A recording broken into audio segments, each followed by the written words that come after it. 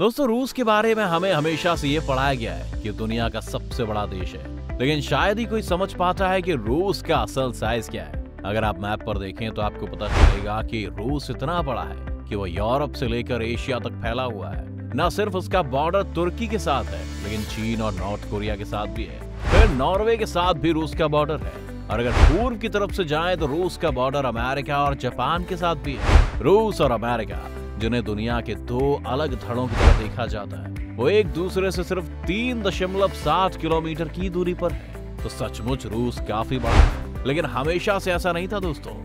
रूस कभी एक बहुत ही छोटा सा देश हुआ करता था। लेकिन कुछ मजबूरियों के कारण उन्हें अपने देश को एक्सपैंड करना पड़ा। और आज ये बड़ा सा देश आपके सामने खड़ा है। तो कैसे किया रूस ने अपना विस्तार? जानेंगे आज की इस वीडियो में। तो अंत तक बने रहेगा हमारे साथ। पहले देखते हैं कि क्यों हम खास तौर पर रूस की बात कर रहे हैं। रूस का साइज़ ना सिर्फ़ बड़ा है, पर इतना बड़ा है जितना किसी देश का साइज़ नहीं होना चाहिए। आप दुनिया की सबसे छोटी कंट्री मोनाको को देखें तो उसका कुल एरिया दो स्क्वायर किलोमीटर फ्रांस का कुल एरिया पाँच दशमलव पाँच लाख स्क्वायर किलोमीटर दुनिया के तीसरे सबसे बड़े देश अमेरिका का साइज़ 80 लाख स्क्वायर किलोमीटर है। और दुनिया के दूसरे सबसे बड़े देश कनाडा का साइज़ 90 लाख स्क्वायर किलोमीटर है। अब यहाँ पर रूस आता है, जिसका साइज़ एक करोड़ सत्तर लाख स्क्वायर किलोमीटर है। यानी दुनिया के दूसरे सबसे बड़े देश से लगभग दोगुना। रूस के पास दुनिया के हैबिटेबल एरिया का बारह दशमलव पाँच प्रतिशत हिस्सा है, जो बहुत ज़्यादा है। ध्यान रखिएगा हमने इस आंकड़े में अभी सोवियत संघ के देश नहीं जोड़े हैं, जिनमें तुर्कमेनिस्तान अजरबैजान यूक्रेन, कजाकिस्तान और बाकी कई देश शामिल थे। ये सिर्फ़ आज के रूस की बात हो रही है। अब नज़र डालते हैं कि ऐसा हुआ कैसे। आज से एक हज़ार साल पहले रूस का साइज़ बहुत ही छोटा था और यहाँ स्लाव लोग रहते थे। इनकी सिर्फ़ एक परेशानी थी कि यहाँ एक तरफ़ से बहुत लंबे लंबे घास के मैदान थे, जहाँ से इन पर कभी भी हमला हो सकता था और हमला हुआ भी मंगोलों का।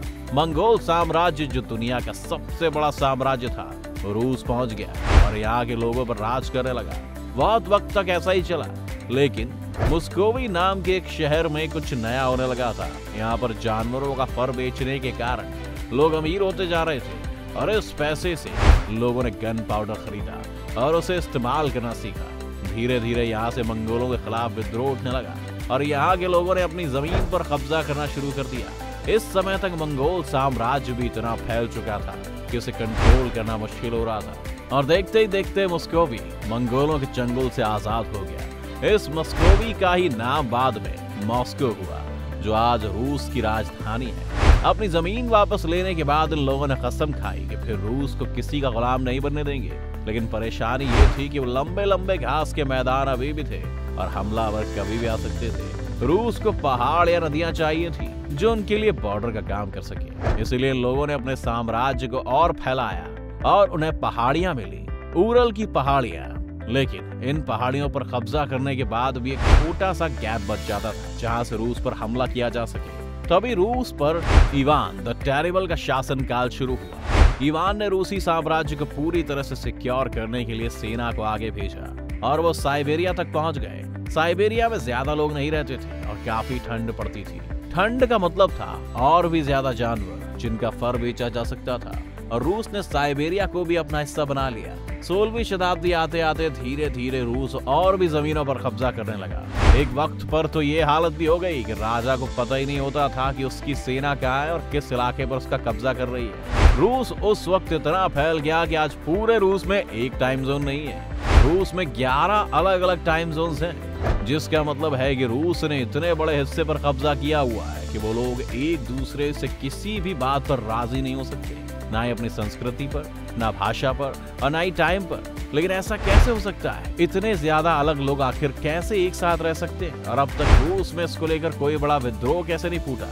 रूस के विस्तार की कहानी बाकी एम्पायर से काफ़ी अलग है। ये ब्रिटिश एम्पायर या डच एम्पायर की तरह नहीं था, जिसने अपने आर्थिक फायदों के लिए किसी देश पर पहले हमला किया। फिर वहाँ हुक्मरानों की तरह रहकर उस देश को लूटने लगे। रूस ने हर जगह सिर्फ़ सेना का इस्तेमाल ही नहीं किया, रूस जहाँ भी गया, जिस भी कबीले से मिला, वहाँ उसने पहले बात की और उन्हें अपना हिस्सा बनाने के लिए मनाया। कई जगह जंग भी हुई, पर ज़्यादातर कबीले मान भी जाते थे, क्योंकि रूस उनके समाज को नुकसान नहीं पहुंचाता था। और वो लोग भी बाकी कबीलों से प्रोटेक्शन के लिए एक एम्पायर का हिस्सा बनना चाहते थे। आज रूस चौरासी टेरिटरीज में डिवाइडेड है, जिनमें से 22 गणतंत्र या रिपब्लिक है। यानी कि वो अपने आप को खुद ही मैनेज करती हैं। वहाँ की ऑफिशियल लैंग्वेज अलग है। वहाँ अलग तरह के लोग रहते हैं और उन लोगों के लिए अलग कानून भी है। सिर्फ़ अंतर्राष्ट्रीय मामलों में ये रिपब्लिक रूस को अपनी ज़िम्मेदारी देते हैं। वरना इसके अलावा इन्हें देखा जाए तो आपको ये रूस से अलग ही कोई देश लगेंगे। भारत की तरह रूस भी यूनिटी इन डाइवर्सिटी का एक नायाब उदाहरण है, और वहाँ आपको कई ऐसे कल्चर मिलेंगे जो एक दूसरे से बिल्कुल अलग है, लेकिन दोनों ही खुद को गर्व के साथ रशियन कहते हैं। अब आप सखा कोई ले लीजिए, जो रूस के पूर्व में है, यहाँ कड़ाके की ठंड पड़ती है, और इस पूरे रिपब्लिक का साइज़ बेल्जियम से बड़ा है।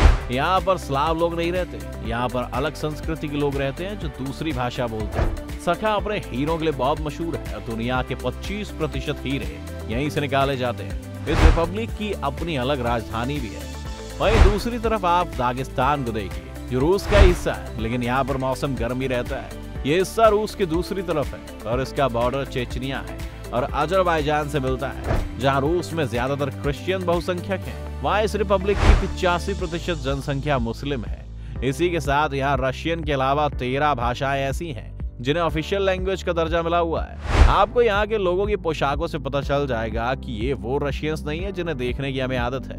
दागिस्तान में पिछले कुछ सालों से रेसलिंग को लेकर काफ़ी क्रेज बढ़ा है और यूएफसी फाइटर खबीब भी दागिस्तान से ही है। दागिस्तान से आगे बढ़े तो कौमी आ जाता है। ये जगह अपनी खूबसूरती के लिए मशहूर है दोस्तों और यहाँ पर बहुत ही बेहतरीन नेचुरल रॉक फॉर्मेशन है। इसके अलावा हम चाहें तो तुवा का उदाहरण भी देख सकते हैं। जहाँ के लोग स्लाव नहीं, बल्कि मंगोल हैं। वही मंगोल, जिन्होंने कभी रूस पर हमला किया था, और जो इतने बड़े रशियन एम्पायर के लिए जिम्मेदार थे। लेकिन फिर भी ये रूस का हिस्सा है। यहाँ पर तुवान भाषा बोली जाती है, और इनके पास भी अपनी एक राजधानी है। कुल मिलाकर रूस ने एक ऐसा साम्राज्य खड़ा किया है, जिसे उन्होंने अपने साथ मिलाने के बजाय अपने साथ रखकर और ज़्यादा उभारने का काम किया है। और इसी वजह से रूस को ज़्यादा विद्रोह नहीं झेलना पड़ा। और जब 20वीं शताब्दी के मध्य में दुनिया के बाकी सारे एम्पायर धीरे धीरे दुनिया से गायब हो रहे थे, रूस आज भी ज़िंदा है और अपने स्वरूप को कायम रख पाने में कामयाब रहा है और दुनिया को एक सीख भी देता है। सीख यही कि कैसे कई तरह के लोगों को साथ मिलाकर भी रखा जा सकता है और देश भी चलाया जा सकता है। अब ये वीडियो देखकर आप खुद ही सोचिए कि अगर इसी में आज के सोवियत संघ के देशों को मिला लिया जाता तो आज रूस का साइज़ और उसका समाज कितना भिन्न होता। आपको आज का वीडियो कैसा लगा? और क्या आपको रूस के बारे में कोई ऐसी बात पता है जो हम बताना भूल गए? हमें कॉमेंट्स में बताए। साथ ही वीडियो पसंद आने पर वीडियो को लाइक और चैनल को सब्सक्राइब करना भी ना भूलें।